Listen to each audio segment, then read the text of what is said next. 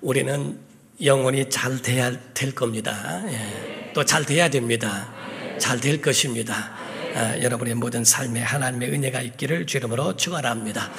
우리는 전능하신 하나님을 믿는다라고 이야기를 합니다. 우리가 사도신경 가운데도 전능하사 천지를 만드신 하나님 아버지를 내가 믿사오며라고 되어 있죠. 전능의 하나님 엘샤다이라고 말을 합니다. 그 전능하신 하나님이 하늘도 만드시고 땅도 만드시고 세계도 만드시고 큰 것부터 작은 것까지 보이는 것부터 보이지 않는 것까지 다 만드신 분이 하나님이십니다. 성경은 구체적으로 말하기를 하나님이 하늘을 펴시고 땅을 세우셨고 지으셨다라고 말씀합니다. 예레미야 10장 12절에 말씀하기를 여호와께서 그의 권능으로 땅을 지으셨고 그의 지혜로 세계를 세우셨고 그의 명철로 하늘을 펴셨으며라고 되어 있습니다. 이와 같이 하나님의 전능하심으로 말미암아 모든 만물도 만드시고 구원도 하시고 또 그에 대하여 선악 간에 구분하사 영생에도 또 영멸에도 영벌에도 들어가게 하시기에 합당하시고 또 그런 능력 있는 분이 하나님이시다라고 말씀을 합니다. 이 모든 우주 만물이 만들어질 때에도 그 천사들이 그 옆에 하나님의 아들들이라고 표현되어 있는데 천사라고 이야기를 합니다. 그 천사들이 하나님의 앞에서 같이 이 가운데 우주 만물을 만드시는 그 가운데 일어나는 그 광경을 보며 소리 지르고 환영했다, 환호했다라는 말씀을 하죠. 욥기 38장 7절에 말씀하기를 그때의 새벽별들이 기뻐 노래하며 하나님의 아들들이 다 기뻐 소리를 질렀느니라. 우리가 불꽃놀이를 하게 되면 그거를 보면서 와 대단하다 막 거기서 소리가 나오고 휘파람이 나오고 그래서 그 가운데에 환호가 일어나는 것처럼 하나님이 이 모든 만물을 만드실 때 얼마나 멋졌으면 그 옆에서 새벽별들이 노래하고 하나님의 아들들이 소리를 질렀다라고 하는 만큼 굉장하고 장관이었다라고 표현할 수 있다는 겁니다. 그런데 한 가지 이해할 수 없는 것은 그렇게 전능하신 하나님이심에도 불구하고 왜 아들은 이 땅에 오셔서 그렇게 고난받고 그렇게 비웃음 당하고 욕을 먹고 그 가운데 마침내는 십자가에 못 박히는 죽음까지도 불사하셔야 했겠는가? 그게 이해가 안 되는 사람 들도 있습니다. 그러나 성경에 우리에게 말씀하고 있는 예수 그리스도의 고난이라고 하는 것은 그분이 무능력해서가 아닙니다. 예수 말씀하시기를 내가 기도하여 열두 군단이나 더 되는 영들 천사들을 내가 동원시킬 수 없는 줄 아느냐? 만약에 그렇게 된다면 구원하리라 한 하나님의 말씀을 어떻게 이루겠느냐라고 주님 말씀하시는 것처럼 부모가 자녀한테 져서 지는 게 아니고 사랑하기 때문에 져주는 것처럼 하나님은 인류를 향하여 십자가상에서 예수 그리스도가 죽으신 것은 인류를 사랑하기 때문에 인류를 구원하셔야 하기 때문에 그분의 사랑이었고 은혜로 죽임을 당한 줄로 믿습니다. 그럼으로써 그분의 힘을 없어서가 아니라 쓰지 않으신 것이라 하는 거예요. 예수께서 힘이 없어서가 아니라 그 힘은 마지막 때에 사용하신다는 겁니다. 선과 악을 구분하실 때 요한 계시록에 말씀하신 것처럼 하나님께서 아들을 이 땅에 버리실 때 백마를 탄 자가 있으니 그 이름은 충신과 진실이라 공의로 심판하시더라. 그 입에서 나오는 검으로 모든 남은 자들을 죽이고 그들에게 심판하시기에 합당하다고 요한 계시록이 말하고 있는 것처럼 바로 그분의 능력은 마지막 때에 힘은 쓸 때에 쓴다는 거지요. 비열한 소인배 같은 사람들은 아무 데서나 자기의 힘을 과시합니다. 비열하고 야비하고 아주 파렴치한 것을 우리는 소위 말하기를 세상에서는 양아치라고 표현을 합니다. 왜냐하면 소인배로서 써야 할 힘은 쓰지 아니하고 약자들을 괴롭히고 무시하는 행위가 얼마나 정말 가증스러운가에 대하여 그렇게 표현하고 있다는 거지요. 교회라고 하는 것은 어떤 곳입니까? 세상이 가진 힘은 없어도 세상이 줄수 없는 힘이 있는 곳이며 세상이 줄 수 없는 평안이 있는 곳이 교회인 줄로 믿습니다. 그러므로 예수님 말씀하기를 교회는 강력한 것이다. 부드럽, 어, 부드럽고 또 약해 보일 수 있지만은 그러나 그 어리석은 것 같이 보이지만은 그렇지 아니하다. 강력하다는 걸 보여줍니다. 마태복음 16장 16절에서 18절 이하를 보시면 시몬 베드로가 대답하여 이르되 주는 그리스도시요 살아계신 하나님의 아들이시니이다. 예수께서 대답하여 이르시되 바요나 시몬아 내가 복이 있도다. 이를 내게 알게 한 이는 혈육이 아니요 하늘에 계신 내 아버지시니라. 또 내가 내게 이르노니 너는 베드로라 내가 이 반석 위에 내 교회를 세우리니 음부의 권세 세상의 권세가 이기지 못하리라라고 그렇게 말씀을 합니다. 곧 음부의 권세가 이기지 못하는 강력한 능력이 교회 안에 있는 줄로 믿습니다. 우리는 모든 세상의 모든 분야에 보게 되면 승리자들이 있어요. 우승자들이 있죠. 그래서 그 우승한 사람, 승리자들에게는 따라오는 것이 명예요, 부가 따라오게 됩니다. 어떤 축구 선수의 일, 그 이야기를 간증을 들어보니까 자기의 어렸을 적에 너무너무 가난했다는 거예요. 그 어머니가 어, 벌어오는 것 가지고 살아가기에는 너무너무 힘들었다는 거죠. 그러다가 공을 차고 있는 모습을 보면서 거기에 희망을 가졌다는 겁니다. 그래서 그 공의 희망을 갖고 축구 선수가 되기로 작정을 하게 되고 어, 뭐 많은 우여곡절을 통하여 어려운 가운데서 승리하고 이겨낸 사람. 그리고 국가대표가 되게 되고 그리고 나가서 전 세계적인 인물이 됩니다. 그러면서 자기 어머니에게 어머니 이제는 좀 쉬세요. 내가 어머니를 보양해 드릴게요. 하면서 그렇게 말을 할 수 있었던 세계적인 선수가 되었다라고 말을 합니다. 이와 같이 명예도 얻고 승리자에게는 부도 따라오는 것이 그렇습니다. 월드컵을 보더라도 16강에까지 가고 8강 가고 4강 결승까지 간다는 것은 굉장한 일이 죠. 우리가 보면은 이 룰을 보게 되면 리그전이라는 것이 있고 토너멘트라는 것이 있습니다. 리그전이라고 하는 것은 예선전에 조를 만들어서 한 번에 지게 되면 끝나는 것이 아니라 그 가운데에 여러 그 조 안에 있는 팀들과 같이 어, 싸워보고 경기를 해서 거기에 평점을 먹여서 그 가운데 올라가게 하는 것을 말합니다. 그래서 그 가운데 올라간 것이 리그에서 올라간 것이 토너멘트인데 토너멘트에서는 지면은 가차없이 떨어지게 돼서 올라가게 되죠. 이와 같이 바로 16강에 올라간 사람들은 그 있는 조에서 그렇게 격렬하게 싸워서 경기에서 올라온 사람들. 그 사람들이 16강에 올라오만, 올라오기만 해도 대단하다고 여깁니다. 8강 대단하지요. 4강 굉장합니다. 결승까지 올라갔다고 하는 것도 굉장한 것처럼 우리가 이와 같이 모든 일에는 승리자라고 하는 것에 대한 명예가 따르는 것과 부가 따르는 것에 대하여 부러워하고 그 가운데 축하해주는 일들이 없지 않아 있게 됩니다. 그러나 우리가 다 좋아할 것만이 아니라 그 위에 올라가게 되면 오르기도 하지만은 지키는 것도 어렵다는 거예요. 거기서 오르는 것도 힘들지만은 지키는 것, 왜냐면 오르면 오르고 난 다음에는 적들이 대단히 많다는 겁니다. 덕을 보려는 사람도 있고 이용하려는 사람도 있고 그 꼭대기에 올라가고 난 다음에는 이루어지는 일들이 너무나 그 반대적인 일들도 너무나 많이 있다는 거지요. 신앙생활도 마찬가지입니다. 사랑하는 성도 여러분, 세상의 승리자도 중요할진데 신앙의 승리자가 되시기를 주님으로 축원합니다.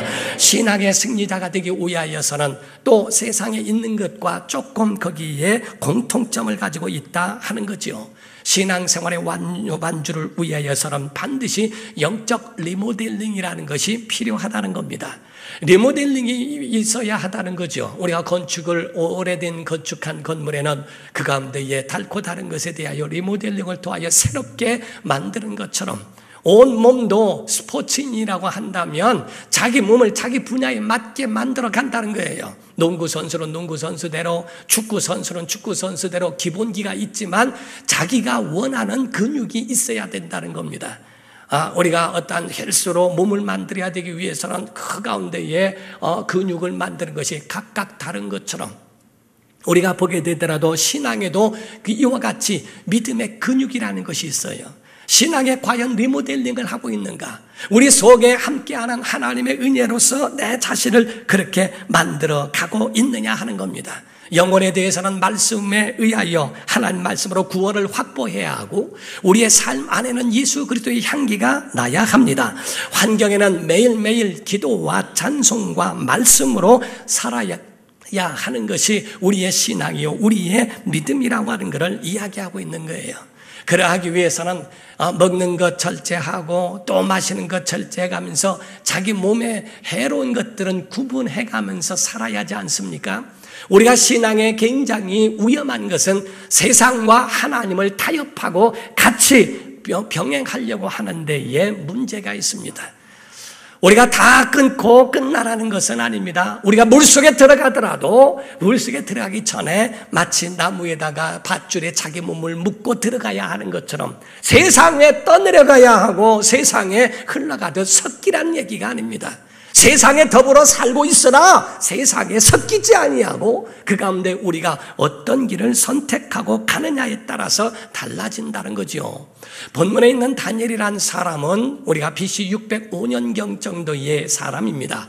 그때 이스라엘이 멸망을 당했을 때인데 이스라엘이 멸망당했을 때 나라는 불을 불이 타고 성벽은 무너지고 임금이라고 하는 사람은 어, 얼마나 무너가지 눈이 쑥 다 빠져가지고서 눈을 빠져버리고 아주 어, 적의 왕이 눈을 빼버렸어요. 그 아, 가운데서 그 부모가 보는 앞에서 왕자들을 다 죽여버리고 그 왕은 눈을 빼고 팔, 어, 손, 어, 손을 묶고 그 가운데에 묶여서 그 나라까지 가야 할 수밖에 없는 바벨론으로까지 끌려가는 신세가 된 그 가운데에 네 소년이 얼마나 재능이 있던지 그 네 소년을 차출하여 그 가운데에 신하로 삼은 그 이야기를 말하고 있습니다. 근데 그 가운데 뭐가 있습니까? 신앙적 위기가 따른다 하는 거예요. 우리에게도 마찬가지입니다. 신앙생활만 잘할 수 있다면 얼마나 좋겠어요.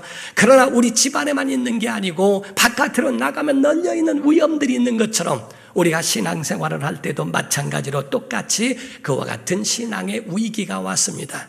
몇 가지가 있지만 한 두 가지로 이야기를 하면 첫 번째가 우상의 재물을 먹는 것과 두 번째는 이름을 바꾸는 창식의 명이었습니다.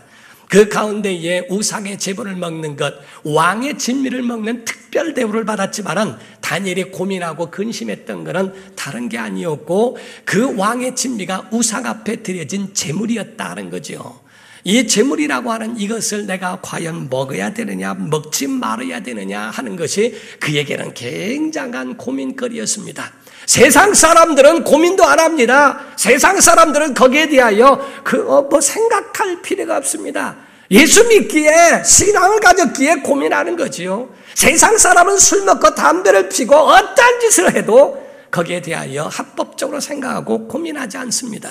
하나님의 사람이기 때문에 내가 뭐를 해야 될까에 대한 선택은 굉장히 그에게 있어 중요하다 하는 겁니다.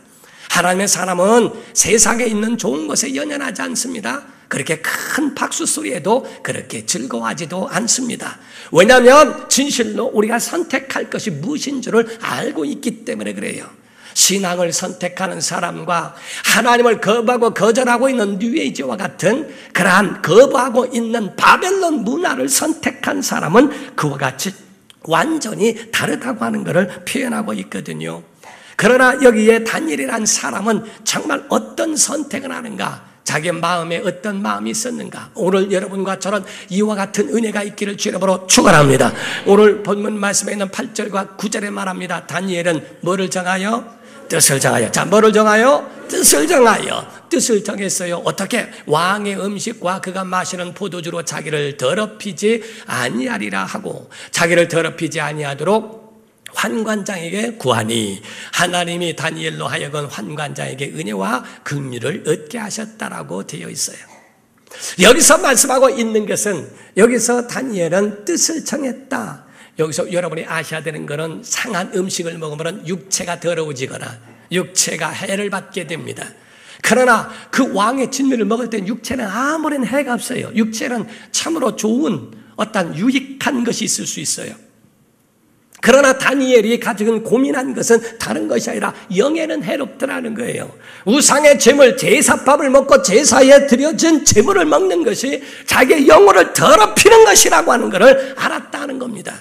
그래서 자기는 뜻을 청합니다. 나는 그거를 먹지 아니하고 채소를 먹도록 다시 말하면 왕의 진미에 올려지는 것은 좋지만 우상의 제물은 먹지 않고 그거를 거부하겠다라고 하는 말에 환관장이 너 지금 내 목 달아나게 하려고 하는 거냐? 만약에 네 몸이 초췌하고 임금 볼 때에 만약에 영양실조가처럼 그렇게 보여진다면은 내게 문제가 있어서 내가 잘리거나 내가 죽게 될 것이다 하고 두려워하는 얘기까지 하게 됩니다. 그러나 그때의 다니엘 아닙니다. 열흘만 한번 시험해 보셔서 열흘 시험해 본 다음에 만약에 그렇다면은 그때는 그렇게 하십시오. 그런데 열흘 지난 다음에는 얼굴에 광채가 나고 굉장합니다. 그의 환관장은 그 가운데에 은혜를 베푸는 받은 사람 중에 하나가 되지요. 사랑하는 성도 여러분, 다니엘이 뜻을 정하며 믿음을 지키니 하나님은 다니엘을 지켜주신 줄 믿습니다. 그래서 다니엘은 67년 동안에 치리하는 그 총리의 일을 감당합니다. 여러분 세상에 67년이라고 옛날에는 그렇게 오래 살 수가 없어요. 67년 동안을 그 가운데에 총리로서 치리하면서 살아가는 자기의 자리에 있다는 것은 하나님의 이런 천수로 한 겁니다. 어마어마한 그 역사를 자기가 믿음을 지키니 하나님의 단계를 지켜 하나님께서 그의 모든 길에 인도하시는 은혜의 역사가 있지 않습니까? 신앙은 일회용이 아닙니다. 우리의 지금의 믿음이 영원함을 믿으셔야 됩니다. 우리의 믿음 위에 건축하기를 주름으로 축원합니다. 하나님의 영원한 나라에 이어지는 영원한 믿음이라 이 말이에요. 성도들은 믿음의 눈을 뜰 줄 알아야 돼요. 세상에만 밝고 세상의 부동산, 세상에 있는 경제와 이런 것들에게만 밝아서는 안 됩니다. 신앙의 눈이 있어야 됩니다. 그 후에도 다니엘은 사자굴 속에 들어가는 어려움을 당하기도 하고 그리고 또 새 친구들은 풀, 풀무불 속에 들어가는 어려움도 당하게 됩니다. 우리가 사드락과 메삭과 아벳느고라고 하는데 그건 창씨 개명한 이름이야. 하나냐와 미사엘과 아사랴라는 이름의 그 히브리 사람의 이름을 가지고 있고 그 사람들은 계속 사드락과 메삭과 아벳느고라는 말을 썼어도 다니엘만큼은 계속 다니엘아 다니엘이란 뜻은 하나님은 재판장이다 하는 뜻이거든요. 그러니까 오직 벨드사살이라고 하는 이 이름도 있지만은 그 이름을 제외하고 자기는 오직 다니엘이라는 이름을 계속적으로 고수하면서 왕도 너 하나님의 사람 다니엘아 하고 말하리만큼 그 속에 믿음을 지키며 오염되지 않는 믿음으로 살아갈 때 하나님은 사자굴 속에서도 지켜주시고 풀무불 가운데서도 지켜주실 줄 믿습니다. 사람은 위기가 오면은 따라오지 않습니다. 친구도 그렇습니다. 임금도 도와주지 못합니다. 다니엘을 놓아주려고 그렇게 애를 썼지만은 사자굴 속에 들어갈 수밖에 없는 상황이었고, 그래서 임금이 쫓아가서 사, 어, 사자굴 속에 외쳐댑니다. 다니엘아, 다니엘아, 내가 항상 섬기는데 하나님이 너를 살려주시더냐? 다니엘이 이야기합니다. 왕이여 만세수를 하옵소서. 사자굴 속에서 목소리가 난다는 게 이게 말이 안 되죠. 엄청난 그러한 충격을 받게 되고 이제 천상천하에 오직 신은 하나님 한 분이라고 그가 그렇게 말하리만큼 어마어마한 일을 합니다. 사랑하는 성도 여러분, 누가 여러분을 붙잡아 줄까? 위기가 올 때 누가 여러분을 붙잡아 줍니까? 저런 신학교 다닐 때에 군사학을 배웠습니다. 군사학을 가르쳐 줬던 교수님이 어떤 때는 군복을 입고 오기도 해요. 그래서 그분이 제가 알기로는 이 장교인지 그 연관급이었는지 자세히 기억은 안 납니다만은 가끔 군복을 입고 오시기도 하고 하는데 그분의 간증이 지금도 생생합니다. 키는 저보다도 작고 아주 왜소합니다. 그런데 장교로서 월남전에 가기도 갔던 사람이었어요. 그가 월남전에 가가지고서 이야기하는 그 대목이 기억에 아주 생생해 난 적이 있습니다. 그분이 한 번은 후퇴를 하게 됐대요. 이 앞으로 전진하다가는 안 되길 것 같아서 후퇴의 명령을 받고 나오는데 나오는데 쭉 내려오는데 지뢰밭을 만나게 됐다는 겁니다. 이 지뢰밭에서 어디에 지뢰가 있는지를 알 수가 있어야죠. 그때의 소대장 그 가운데 있는 어, 몇 사람이 이야기해드려요. 네가 예수 믿는 사람이니까 내가 먼저 가라. 그래서 지뢰밭을 내가 하나님이 지켜줄 거 아니냐. 이 가운데는 예수 믿는 사람은 너밖에 없으니까 내가 가라. 우리는 내가 밟은 발자국을 밟으며 가겠다. 그래서 그때에 자기는 시험령이 된 겁니다. 만약에 터져버리면 자기는 죽고 뒷사람은 따라가게 되겠죠. 그때에 찬양을 했다는 겁니다. 하나님 평강을 주옵소서. 찬양을 해가면서 그 가운데에 걸어가는데 신기한 거는 지뢰밭을 통과하게 되더라는 거죠. 지뢰밭을 통과해. 그런데 더 신기한 거는 똑같은 발을 밟고 오는 데 뒤에서 터지더랍니다. 자기는 지나갔는데 뒤에서는 지뢰가 터지는 것을 보고 너무 이건 하나님이 잡아주지 않으면 하나님이 지켜주지 않으면 탄탄대로와 같다고 하는 앞사람이 터지지 않은 그 발자국을 그대로 밟으면 되겠지라고 생각하고 아주 자신만만하게 그 발자국을 밟았던 사람은 터지게 돼버리고 아무것도 망망대 같이 볼 것도 없고 거기에 확신 없는 길을 걸어가도 하나님이 잡아주시니 지금의 내가 있노라고 고백을 합니다. 사랑하는 성도 여러분, 우리가 믿음을 지키면 하나님이 지켜주실 줄 믿습니다. 우리가 세상과 타협하고 바벨론 문화에 같이 거기에 있을 이유가 없다는 거예요. 너희가 핍박을 받고 시험을 당하거든 이겨내고 아니 도리어 기뻐하고 즐거워하라 하나님이 너에게 상이 크게 갚아주신다라고 말씀을 하고 있습니다. 사랑하는 성도 여러분, 하나님의 은혜를 따라서 우리는 어떻게 해야 되냐? 사모해야 됩니다. 그리고 기다려야 합니다. 사모하고 기다리면 하나님이 주시게 돼 있어요. 신앙의 기본만 잘 지켜도 은혜를 주시는데, 사람들은 자꾸 곁길로 갑니다. 무언가를 한번 이루고 싶어 하는 자기 욕심이 앞서버렸기 때문에 안 되는 경우가 너무너무 많은 것을 보게 되죠. 성도는 목표와 비전은 있을지라도 야심은 위험합니다. 야심 있는 사람들은 남들을 밟아야 하고 남들을 찍어내려야 그 자리에 내가 서니까. 그러니까 그 사람들을 찍어내리고 무시하고 밟고 올라서려고 합니다. 그리고 1등이 되기 위하여 승리자가 되기 위하여 어떤 수단과 방법을 가리지 않습니다. 그러나 신기한 것은 그 위에 올라가도 얼마 동안 가지 못하고 다시 그 가운데에 내려질 수밖에 없는 것이 돼버릴 수밖에 없다는 거죠. 그러나 믿음의 사람들은 그렇지 않습니다.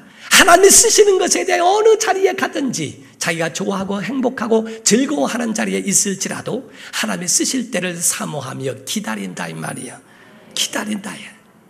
요셉이 언제 주여 내가 총리가 되기를 원합니다. 총리 되게 하소서. 그렇게 기도하면서 큰 몸부림친 적이 있습니까? 다윗이 언제 목동 일을 하면서 양을 키워가면서 나는 왕이 되어야 될 텐데 왕이 되어야 될 텐데 왜 나를 왕으로 안 세우나 나를 왕으로 세워주소서 이렇게 한 적이 한 번이나 있습니까? 다니엘이 언제 내가 총리가 되기를 원합니다. 금식하며 몸부림치고 기도한 적이 있습니까? 그렇지 않습니다. 요셉이나 다니엘이나 하나님의 사람들은 너가 되겠습니다. 그걸 목표로 두고 그 가운데 야심을 갖고 간 게 아닙니다. 자기가 믿음을 지키니까 하나님은 적재적소에 그게 맞는 그러한 직책을 맡기시고 그에 대하여 커다란 하나님의 은혜의 역사를 이루게 하십니다. 우리가 근육이 생겨야 되는 것처럼 신앙의 근육은 시험이 닥쳐올 때 일어날 수 있는 거예요. 우리는 시험이 올 때에 거꾸라지는 사람이 있고요. 그래서 타락의 길로 가서 하나님이 있긴 어딨냐고 내가 이렇게 고통당하니까 하나님 없다고 하고 세상으로 돌아간 사람이 있고요. 시험이 닥쳐올 때 믿음 갖고 하나님 앞에 믿음을 보이는 사람이 있습니다. 요비란 사람은 신앙을 떠나기 아주 충분한 여느 사람들에만 벌써 세상을 어, 세상으로 돌아갔을 수 있을 밖에 없는 그런 욥의 시험이었습니다. 그러나 욥은 끝까지 입술로 하나님을 원망하지 않더라. 끝까지 믿음으로 신앙을 고백하더니 하나님이 그에 대해서 갑절의 은혜를 베푸세요. 학자들은 말합니다. 욥이라고 하는 사람이 갑절의 은혜를 베푼 것이 하나님의 테스트를 위하여 준비하신 복일까? 안 그렇다는 거예요. 그 시험을 통과한 자에게 하나님의 은혜를 그냥 베푸신 것이지 통과한 다음에 보상이라는 것이 아니라는 겁니다. 우리에게 더 큰 위험이 우리에게 닥쳐올 수 있어요. 사랑하는 성도 여러분 생각해 보십시오. 우리가 예선전에 우승자와 만날 수도 있습니다. 그러나 그 가운데 여러 가운데 공평하게 다 해서 리그로 토너먼트에 올라갑니다. 가차없이 하나가 떨어지고 올라가고 떨어지고 올라가고 계속 올라가면서 떨어지고 이런 일이 있을 수 있죠. 올라갈수록 좋은 쉬운 선택, 아, 쉬운 팀을 만납니까? 올라가면 올라갈수록 더 어려운 팀, 더 강력한 팀을 만나요. 신앙이 오래될수록 더 강력한 시험이 올 수 있습니다. 그러나 이겨내면 우승까지 갈 줄 믿습니다. 이겨내고 이겨내고 이겨내는 거예요. 예선 전에 만났던 팀하고는 상상할 수 없을 만큼 굉장한 팀들이 그 앞에 기다리고 있어도 그거를 다 겪습니다. 더 강력한 팀들을 이겨낸 사람들이 승리자가 되지 않습니까? 사랑하는 성도 여러분, 다른 거 없습니다. 승리와 복의 비결은 철저히 신앙의 기본을 지키기를 주름으로 축원합니다. 믿음의 소인배가 되지 말고 믿음의 대인배가 되라. 대장부가 되라. 교회가 멀다고요? 교회가 멀다고 하고 핑계 대지 마세요. 필요하면요 병원이 아무리 멀어도 갑니다. 필요하고 하면은요, 병원이 멀어도 거기가 낫다더라 하면은 거기에 뭐를 타고라도 갑니다. 비행기를 타든 뭐를 타고라든 거기 가서 하려고 합니다. 필요하면 합니다. 사랑하면요, 다 합니다. 연애할 때는요, 부산에서 나 어떡하지? 차가 끊겼는데 내가 갈게. 아유, 4시간이 걸려. 4시간 뺏게 안 걸려. 이럽니다. 그런데 결혼한 다음에는 두정동인데 데리러 올 수 있어. 택시 타고 와, 이 양반아. 해가지고 성질이 나죠. 예, 엄마가 시키면 왜왜왜왜 해가면서 왜 나만 시켜 왜왜 하다가 부인이 시키면 알았어 또 이럽니다. 사랑하면 다 하고요. 자기의 마음에 필요하면 다 합니다. 이것저것 신앙생활이요 은혜 받으면요 신앙생활의 마음에 행복이 있으면요 다 승리할 줄 믿습니다. 여러분 정말 믿음으로 승리자가 되기를 예수 이름으로 축원합니다. 싸움의 대상 믿음의 싸움의 대상은요 요셉이 아닙니다. 요셉 요셉은 어, 형제들이라고 하지 않습니다. 그의 싸움은 자신과의 싸움이었고 죄와의 싸움이었어요. 다윗의 싸움은 사울이 아니었습니다. 골리앗과의 싸움이었습니다. 우리의 싸움은 혈과 육에 속한 이 땅의 싸움이 아니고 하늘의 정사와 이, 이, 같은 악의 권세들과의 싸움이라고 말하지 않습니까? 다윗이 말년에 죽음을 앞두고 솔로몬에게 이야기를 합니다. 어떻게 그가 유언을 합니까? 열왕기상 2장 2절에 말씀을 합니다. 내가 이제 세상 모든 사람이 가는 길로 가게 되었느니 죽는다 이 말이에요. 너는 힘써 대장부가 되라. 힘써 대장부가 되라. 여러분 신학의 대장부가 되기를 주름으로 축원합니다. 그래서 정말 하나님이 무엇인가 정말 해야 될 때 해야 하고 또 그 힘은 쓸 때 쓰는 것이 대장부입니다. 아무 데사나 하는 것은 소인배입니다. 하나님의 은혜를 따라 사는 사람들, 신앙의 대장부가 되고 믿음을 쓸 때 쓰고 정말 하나님이 쓰고자 하실 때에 쓰임 받는 하나님의 사람 되기를 예수 이름으로 축원합니다. 기도하겠습니다. 이 시간에 다 같이 통성으로 기도할 때 하나님 우리에게 은혜를 베풀어 주소서. 주의 사랑이 우리 안에 임하게 하시고 성령의 인도하심 있게 해달라고 정말 우리의 마음에 신앙의 대장부가 되도록 주님 우리의 믿음을 키워가게 해달라고 우리 간절한 마음으로 다 같이 통서로 기도하시겠습니다.